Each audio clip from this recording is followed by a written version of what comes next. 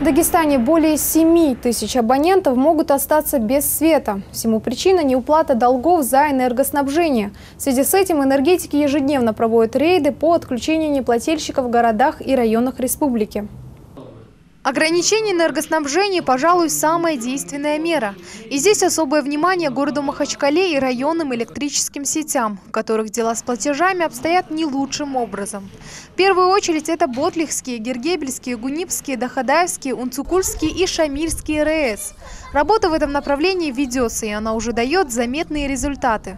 Так, в мае дагестанская сетевая компания направила 7160 заявок на отключение должников. За свет они не заплатили в общей сложности более 203 миллионов рублей. В итоге ограничено энергоснабжение около 4000 абонентов. Отозвано в связи с полным или частичным погашением задолженности 2780 заявок на сумму свыше 46 миллионов рублей.